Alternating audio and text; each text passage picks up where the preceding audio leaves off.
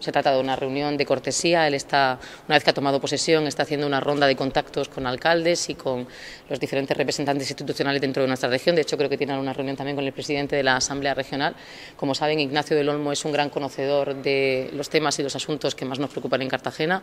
Además de haber estado aquí en nuestra comisaría, él tiene residencia, es un enamorado de Cartagena, por tanto, es conocedor de todos los temas y ha sido una reunión en la que hemos podido abordar todos los asuntos que nos preocupan y, sobre todo, por un poco la las líneas generales, de, igual que hizo en su discurso de toma de posesión, las líneas generales en las que quiere poner el nuevo jefe superior de Policía Nacional el acento ¿no? en los próximos meses. Por supuesto, sabemos que estamos en las mejores manos, en las manos de un gran profesional. Eh, siempre hay que tener el talento, el conocimiento, pero también hay que tener la ilusión ¿no? y las actitudes necesarias para pasar a la acción.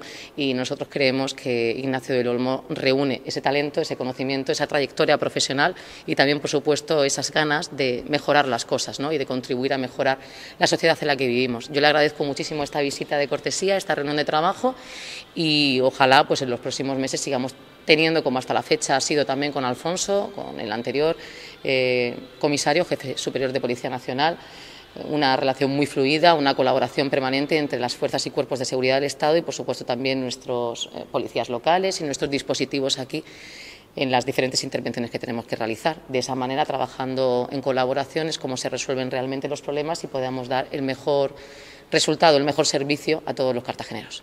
Como cargo institucional es mi obligación presentarme eh, a las máximas autoridades de la región, eh, aprovechando la visita, me he presentado eh, a la alcaldesa y ahora me presentaré al presidente de la Asamblea Regional y yo en lo personal ya nos conocíamos y además conservo casa en el paraíso de Isla Plana, con lo cual me considero un cartagenero más eh, en un cierto sentido.